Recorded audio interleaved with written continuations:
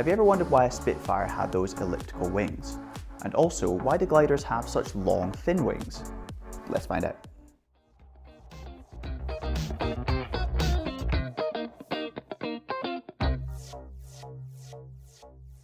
Hi, I'm Grant and welcome to the sixth class in the Principles of Flight series. Today we're looking at the ways in which wings are designed, also how we name them, and the methods used for creating a nice and efficient wing. This class is a combination of lift, drag and vortices and how to combine them to create a very efficient wing. So a good understanding of all three of those concepts is essential for understanding how a wing is designed.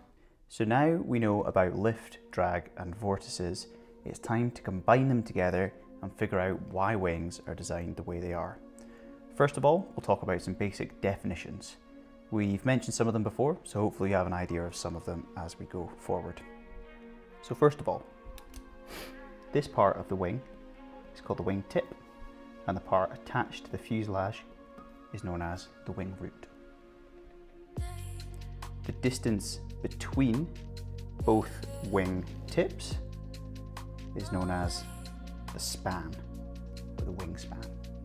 The wing area is the area covered by the wings and also this middle part of the fuselage between them. So your wing area is this space in here. The taper of a wing is this property of it narrowing towards the tip because the chord length is shorter at the tip than it is at the root. From the taper, we can devise a taper ratio, which is the ratio of the chord tip to the chord root, how much it narrows. The sweep angle is the angle between the leading edge here and the lateral axis of the aircraft, which would be about here. So this angle in here is your sweep angle. This is something you see very commonly on jet aircraft. The average chord is the average length of the chord along this whole length of the wing. To find the true average chord, you would need to add up all the possible chords along the length of this wing, then divide by however many you have. So to actually find out the average chord is quite tricky. The aspect ratio is a ratio of the span of the wings to that average chord. Long, thin wings will have this high aspect ratio. We mentioned that finding the true length of the chord is actually quite tricky. So what you can do, and what is quite common, is use the area of the wing. Because in theory, the area of the wing is equal to the span times the average chord. So by doing some rearranging, you can find out that the average chord is equal to the area divided by the span. You then substitute this in the average chord, do a bit of maths, you end up with span over area over span. And then we don't like that on the bottom so what you can do is you can multiply throughout by the span and end up with another formula for aspect ratio which is span squared over area. So aspect ratio is either span over average chord or span squared over area. And high aspect ratio wings are very long and very thin. The MAC, or the mean aerodynamic chord, is derived from the mean aerodynamic wing. The mean aerodynamic wing is an equivalent wing that is perfectly rectangular that has exactly the same properties as this swept back tapered wing. And then your average chord along that length is always the same because it's rectangular. And from there, you derive your MAC or your mean aerodynamic chord. The rigging angle is the angle between the chord line of the wing and the longitudinal axis of the aircraft at the root of the aircraft. It's a measure of how the wing is mounted onto the aircraft. So in here you have your rigging angle. The angle of incidence is the angle between the chord line and the longitudinal axis of the aircraft. So at the root of the aircraft where it's mounted, that chord line is going to be exactly in the same place. So we're going to have the rigging angle equal to the angle of incidence here. So your angle of incidence, or incidence angle, is equal to your rigging angle at the root. As we travel towards the tip of the wing, wings are often twisted, this property known as washout. This means that the angle of incidence is actually changed as you go out. So it starts off very steep, and then as you come down, the chord line will be shallowed off, the angle of incidence will be shallowed off. So that's where your difference comes between the rigging angle and the angle of incidence. Now the root they're the same, but along the length of the wing, the angle of incidence will be different from the rigging angle. The final property to talk about is dihedral and anhedral. This is very similar to the sweep angle in a way, because it is the angle between the lateral axis and the wing, but it's up the vertical axis rather than in the horizontal. So anhedral wings droop down from the aircraft and dihedral wings slope up from the aircraft. An easy way to remember the difference between the two, it's very cheesy, but if you die, you go up to heaven, hopefully. All right, definitions done. Now let's look at some designs. First of all, the best wing design produces the correct amount of lift for its circumstances with the least amount of drag. To reduce the drag, we want to reduce our wingtip vortices and our induced drag, and we also want to reduce our parasite drag in the form of skin friction and form. To reduce the form drag, we would mainly focus on the design of the fuselage of the aircraft and try to avoid any sharp angles and surfaces opposing the direction of travel. To reduce skin friction, we would make the skin nice and smooth and avoid as many bumps and roughness as we possibly can. And to reduce our induced drag and our wingtip vortices, we can do two things. The first thing is to increase our aspect ratio, which means either increasing the span or reducing the chord. Ideally both. Let's look at the chord first. So, we know from the previous class that a shorter chord length will disturb the particles for less amount of time and that pressure differential on the top will be a much smaller area meaning that the strength of the wingtip vortices are weaker. So we want a low chord length. It also means that we try and increase our wing span. This leads to a more gradual pressure flow gradient and means that our trailing edge vortices are actually weaker. With weaker trailing edge vortices means that our downwash is less. So we get a low downwash here and we get high downwash over here which means that our effective airflow is angled less and our induced angle of attack, which would come in here, and we remember the forces act 90 degrees to this, reaction forces acting 90 degrees to that induced angle of attack, means that our lift force is a greater proportion of that reaction force because the reaction force is angled less back than in the case of downwash being higher. In essence, we want a high span and a low chord. The downside of having a high span, low chord wing is the shape needs a lot of supporting structurally because it's very long and thin. The structure inside therefore needs to be quite strong making it hard to incorporate wing fuel tanks, which is the common place to store fuel in an aircraft. At high speeds, the induced drag becomes a much more small component of our total drag. This is what we'll cover in the next class, but just know for now that at high speeds, the induced drag is less important than the parasite drag.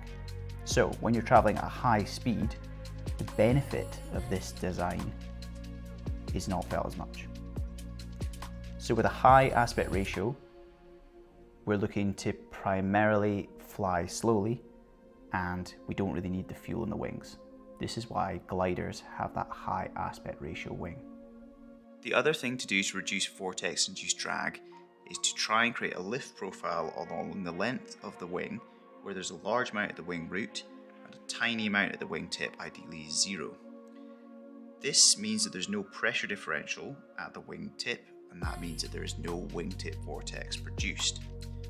This is what is known as an elliptical lift distribution and if you look at it graphically you will see this sort of picture.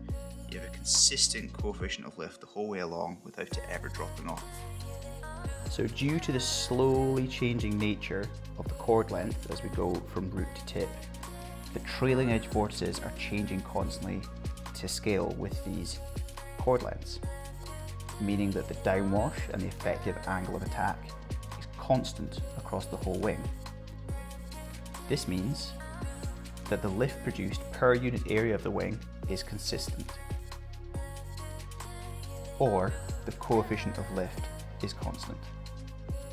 Wings do have to end at some point though, so a sharp drop off in coefficient of lift is experienced where the wing ends.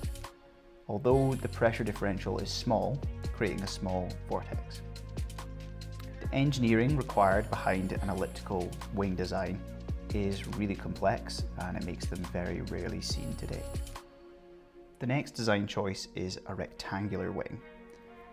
So the benefits from a large, long area of chord length produce a large amount of lift or a high coefficient of lift. The wing, however, does not round off to a point as the elliptical one does, which means there's still a large amount of lift produced at the tips, which leads to a large vortex, which in turn leads to more downwash, larger induced angles of attack, and a steeper reactive force. It's more angled back the way, and that means more of that force is made up of drag and less of lift. The lift distribution looks something like this. You get a high amount of lift, and it drops off suddenly. The next design choice is a tapered wing. By tapering the wing, we reduce the overall area providing lift, but we can reduce the downwash in the mid-wing section, and we can increase it over the wing root due to that longer chord.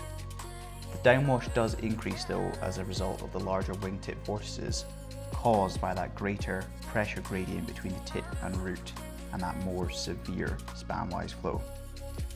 So what you can see is an overall less amount of lift produced, but it is more consistent along the length before suddenly dropping off. So the next design choice is incorporating a taper and a sweep back into the wing. By tapering past about 0.5 taper ratio and sweeping the wing, the downwash increases significantly at the wing root and reduces close to the wing tip. That is until reaching the end of the wing where the downwash is greatest due to the wingtip vortex. This creates a quite weird looking coefficient of lift graph like this. So at the wing root, the downwash is greatest, meaning our reactive force is angled back the most it then slowly reduces and then rapidly drops off, meaning we get a lot of lift produced. And then right at the wingtip, where that vortex is, the downwash is greatest, and it drops back off suddenly. So you get this weird looking graph with a bump. Adding winglets or something similar, such as wingtip fuel tanks, creates a barrier between the bottom and the top surfaces, not actually allowing the air to flow. So if you look at it in sort of the 3D space, you would find the wingtip, the air tries to correct, and it hits this surface, it's unable to go the full way around. So it means that the strength of these wingtip forces are actually weaker when compared to an aircraft without winglets. This difference is very significant and it's often why you see lots of winglets on low cost carriers um, you know, your Ryanairs and your EasyJets because they're trying to save as much fuel as possible and try to minimize drag as much as possible is a good way to do that, hence the winglets. Another tool to use by wing designers is the wing camber can be changed along the length of the wing. Most commonly the camber is reduced at the wing tips when compared to the wing root and this reduces the pressure differential caused between the top and bottom surfaces and therefore the wingtip vortex is a bit weaker. As we can see, downwash in all of these designs is the key factor in controlling our induced airflow and our induced angle of attack and how much that reaction force is angled backwards. So designers often incorporate this twisting towards the wingtip or washout which reduces the angle between the chord line and the effective airflow towards the wingtip artificially. So you see at the wingtip, you reduce the induced angle attack by angling the wing forward and a greater proportion of our reaction force is vertical rather than horizontal when compared to the wing root. So for any aspect ratio that you have, the most efficient wing is the one with the perfectly elliptical design to achieve that perfectly elliptical lift distribution. However, due to the engineering challenges with elliptical wings, it's not widely used today. And you can tell just by looking at a jet airliner that sweepback taper designs are much more favorable. This is because this is a compromise between all these designs to best suit the job that it needs to. So to summarize, the best wing design produces the correct amount of lift for the least amount of drag. So to reduce our form drag, we avoid sharp angles. To reduce our skin friction drag, we make everything smooth. And to reduce our induced drag, we reduce our vortexes or vortices. Reduce our vortices.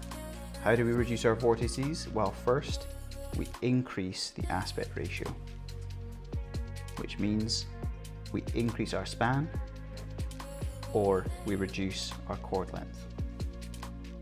We can also aim for an elliptical lift distribution across the length of the wing. So it comes down slowly, slowly, slowly towards the tip where there's almost zero lift produced. This is because the downwash is consistent and the induced angle of attack is consistent and in scale to the chord length, making that low differential pressure towards the wingtip. So our common wing designs will give us lift distribution patterns like this. So this is the elliptical wing, produces fairly consistent until reaching the end where it drops off. This is the most efficient wing design, but it comes with the challenges of being very hard to engineer and expensive. The next you get is a rectangular wing design, which produces a bit more lift, but it drops off towards the tip. The next you can get is a sweepback, which actually has a lower amount of coefficient of lift produced, but it creates a more even picture along the length of the span. And the final is a combination of sweepback and taper, which produces a funky design where it starts off low, increases very greatly, and then drops off rapidly. These designs can then be enhanced further by changing the camber of the wing and also by adding a washout. So the camber means that we produce less lift at tips, which means that our pressure differential is reduced and our vortex strength is reduced. Downwash is reduced. That means our induced angle of attack is lower and that means our force is angled backwards by a lesser proportion and it is more angled up the way, which means more of that reactive force is lift. Washout is an artificial reducing of that induced angle of attack. So where the downforce is the greatest, aka at the wing tips, we reduce the induced angle of attack artificially.